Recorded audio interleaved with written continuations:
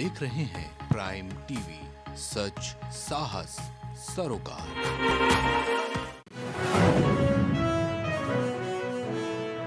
गोरखपुर में पहले चरण में लगेंगे पाँच हेल्थ एटीएम एक सैंपल में हो सकेगी उनसठ जांचें।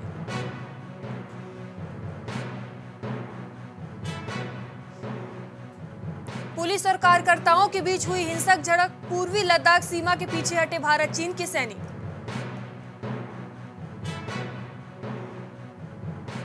अखिलेश ने शिवपाल को तकनीकी रूप से बताया, सपा का विधायक शिवपाल बोले, सपा में जाना मेरी भूल।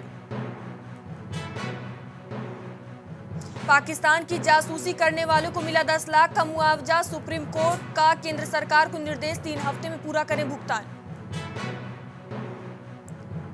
सरकार ने सिगरेट छुड़ाने वाली दवा समेत 34 नई दवाओं का को किया शामिल 26 दवाएँ की बाहर।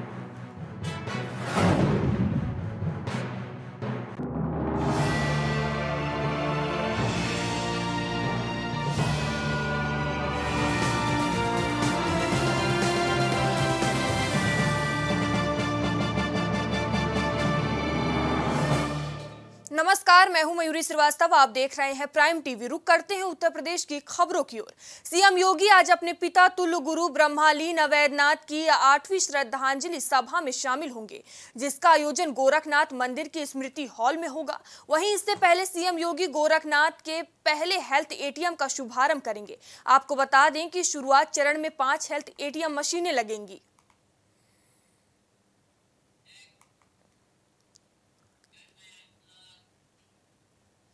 औरैया की मुरादगंज तिराहा रोड पर भूमाफियाओं के खिलाफ बाबा का बुलडोजर गरजा जिसके बाद से भूमाफियाओं में हड़कंप मच गया है। आपको बता दें कि भूमाफियाओं ने सड़क किनारे सरकारी खाद के गड्ढों पर कब्जा कर रखा था। वहीं इस दौरान तहसीलदार समेत राजस्व टीम और भारी पुलिस बल मौजूद रहे। अलीगढ़ के गोंडा ब्लॉक में एक कार्यक्रम के दौरान मानवीय वेशिक शिक्षा अधिकारी श्री संदीप सिंह को प्रदेश के परसदी प्राथमिक विद्यालयों में रिक्त पदों को भरने के संबंध में ज्ञापन दिया गया, जिसमें 21 लाख प्रशिक्षुओं को अपना भविष्य संवारने का मौका मिल सके। इस दौरान बेसिक शिक्षा मंत्री समेत कई साथी मौजूद रहे। आज मैंने यहाँ पर शिक्षा मंत्री जी को प्राथमिक शिक्षक भर्ती पर ज्ञापन दिया जैसा कि पिछले चार सालों से भर्ती नहीं आई है इस संबंध में आज हमने ज्ञापन दिया आगे फिर आप क्या चाहते हो? सरकार से यही चाहते हैं जल्द से जल्द भर्ती आए। हमें चार साल हो गए भर्ती नहीं आई है। जैसे अब पिछली दो भर्ती निकली अड़सठ हज़ार पाँच सौ और उनहत्तर हज़ार। वो शिक्षा मित्रों का समायोजन था। और सरकार कहती है कि हमने ये भर्तियाँ निकाली हैं। तो शिक्षा मित्रों का समायोजन करके वो भर्ती दी थी तो बीते चार सालों से नई नई भर्ती नहीं दी है लड़का लॉकडाउन में निकाला। कहाँ पे? अजमेर कॉलेज जो है किस पर क्या किस संविदा पर काम करता था तब आगे फिर आ- आपने क्या समस्या रखी है कि जीएम साहब उससे गोंडा में आरटीओ विभाग ने अभियान चलाकर स्वास्थ्य विभाग की अनफिट और बिना प्रदूषण की चल रही एंबुलेंस का चालान कर सीज करने की कवायद कर रही है, जिसके चलते 20 एंबुलेंस के चालान समेत चार एंबुलेंस को सीज भी किया जा चुका है। इसके बावजूद जिलाधिकारी के आदेशों का पालन नहीं हो रहा है, सरकारी एंबुलेंस जो मानक विहीन है और बिना फिटनेस के सड़कों पर दौड़ रही है। नाम पे लगभग 79 तो एंबुलेंस दर्ज हैं। और उनकी अपनी भी सरकारी गाड़ियाँ हैं जिनसे अधिकारी वर्ग चलते हैं। ऐसी गाड़ियाँ जो अनफिट हैं, उनकी समय समय पे प्रवर्तन कार्य करते हुए कार्रवाई की जाती है। जैसे हमारे यहाँ पे वर्तमान में अभी पीटीओ हैं जो प्रभारी आरटी के रूप में कार्य कर रहे हैं यहाँ पे।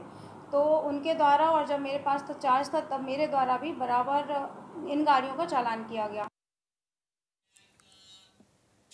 कानपुर में गैर मान्यता प्राप्त मदरसों की जाँच के लिए टीमें गठित की गई। टीम ने अब तक गैर मान्यता प्राप्त 23 मदरसों की जाँच रिपोर्ट तैयार कर ली है। आपको बता दें कि टीम में एडीएम की निगरानी में बेसिक शिक्षा अधिकारी, जिला अल्पसंख्यक कल्याण अधिकारी और एसडीएम टीम शामिल है। वहीं 25 अक्टूबर तक डीएम के माध्यम से गैर मान्यता प्राप्त मदरसों की रिपोर्ट शासन को भेजी जाएगी।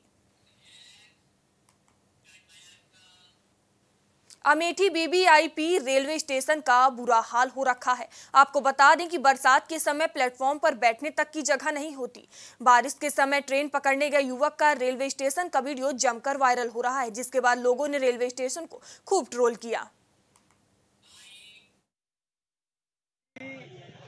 ज़िले में जब किसी से कोई बात कीजिए, विकास सड़कें टूटी हैं, लोग परेशान हैं, जानवर से परेशान हैं, महँगाई से त्रस्त हैं तो जो भक्त लोग हैं, वो तुरंत कहते हैं, स्टेशन देखो स्टेशन देखो देखो कितना पैसा लगा हुआ स्टेशन की ये दशा है कि आप स्टेशन में अगर रात में बारिश थोड़ी सी बारिश होने पर एकदम झरने का एहसास हो रहा था, लग रहा था जैसे शिमला उमला में है।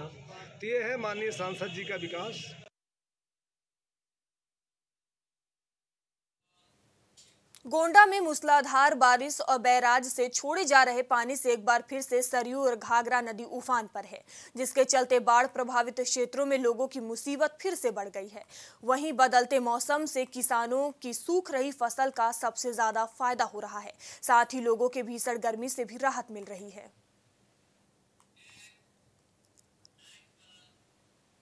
हरदोई के हरपालपुर थाना क्षेत्र के कटरा बिलहौर हाईवे के पास हाई टेंशन विद्युत लाइन का तार अचानक टूटकर नीचे गिर गया, जिसके चलते एक बाइक सवार की अचानक मौत हो गई और दूसरे बाइक सवार दंपत्ति घायल हो गए। मौके पर पहुँची पुलिस ने घायलों को नजदीकी अस्पताल में भर्ती कराया, साथ ही मृतक के शव को पोस्टमार्टम के लिए भेज दिया।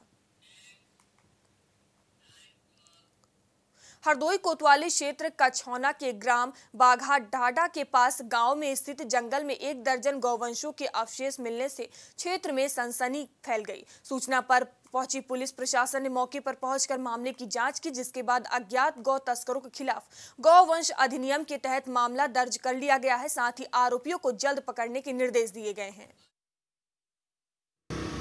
थाना कोतवाली कछौना के अंतर्गत बाघा डाडा गाँव से एक सूचना प्राप्त हुई कि एक फॉरेस्ट के जंगल में कई जानवर के कटे हुए मांस और कुछ खून पड़ा हुआ है। इस सूचना पर तत्काल स्थानीय पुलिस पहुँची और सब, सभी वरिष्ठ अधिकारी पहुँचे और जब वहाँ पे देखा गया तो कुछ जानवर के मांस वहाँ पाया गया। तत्काल चिकित्सा अधिकारी को, पशु चिकित्सा अधिकारी को फ़ोन करके बुलाया गया। मौके से वहाँ सैंपल उनके लिए गए। अज्ञात व्यक्तियों के विरुद्ध अभियोग पंजीकृत किया गया है। जल्द ही जल्द हम पूरे गैंग को पकड़ेंगे, सफलतापूर्वक इसका अनावरण करेंगे और कठोर दंडात्मक कार्रवाई की जाएगी।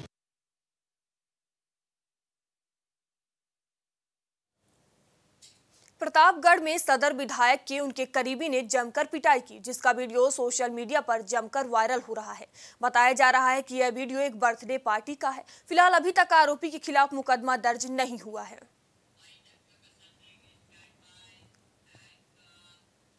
फ़िलहाल उत्तर प्रदेश की खबरों में इतना ही। देश दुनिया की तमाम खबरों के लिए देखते रहिए प्राइम टीवी।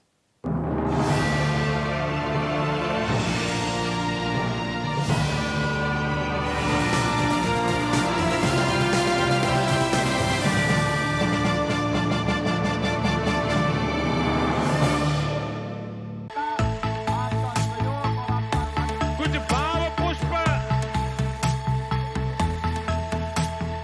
आप देख रहे हैं